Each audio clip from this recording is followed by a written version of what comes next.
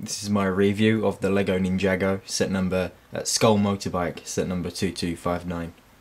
Um, yeah, you get two figures, and yeah, this guy's called Jay.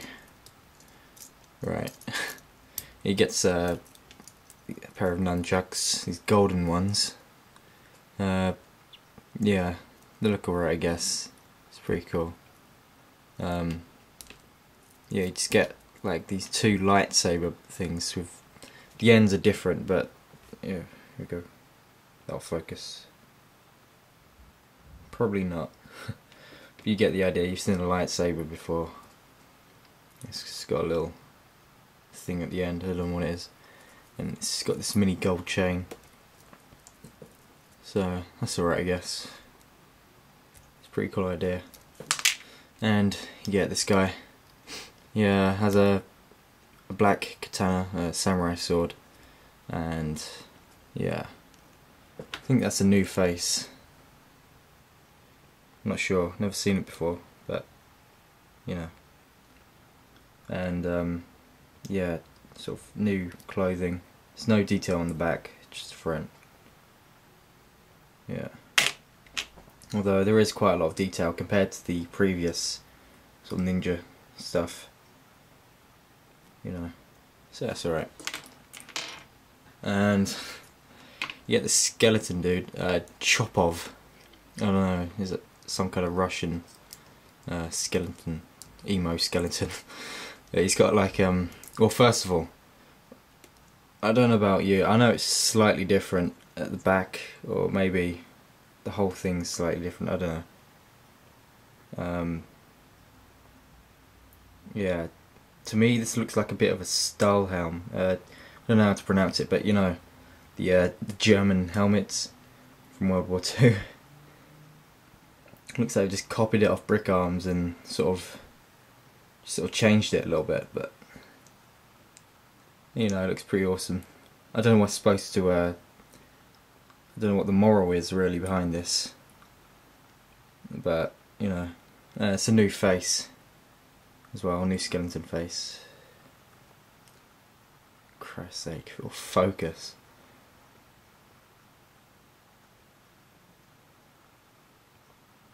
Yeah. And he gets this like chest piece, got loads of spikes on it. I think that's new too. And his arms are new. You can see that. Looks alright I guess. But yeah, this is probably the craziest Lego set I've ever seen. I mean, not just this set, but the whole series. I just don't understand. And his weapon is like uh, an axe, but it's attached to a bone. So I guess you could use that for other stuff as well. That looks pretty cool, but still. what the hell? And now you get this motorbike.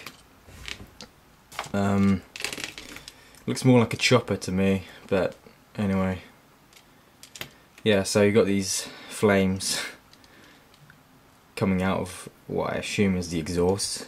Um, yeah, looks pretty cool, I guess. But and basically, got this mechanism here. Yeah, you pull it, and it's supposed to pull this thing up. Basically, um, I guess when this dude's like trying to attack him. Yeah, supposed to kill him. I guess it's alright. I'm actually missing a piece on here. Um, I don't know why. It's probably my fault, not Lego, I guess. But, yeah. Um, this is really weird. assuming this is supposed to be the 21st century, otherwise I have no idea where they get these uh, bikes from.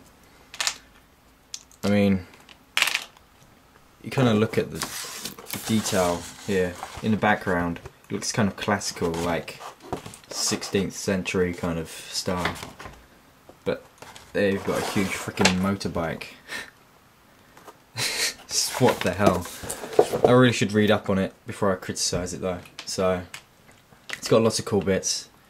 You know, like this neo-Nazi grunge skeleton guy.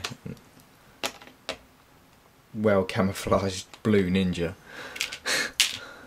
um, I'm not sure if I'll be doing more of these, more reviews on these uh, in this series, but you know if you want me to, oh, sure I'll do it. You know, but um, I give it like seven out of ten, purely just because it freaks me out a little.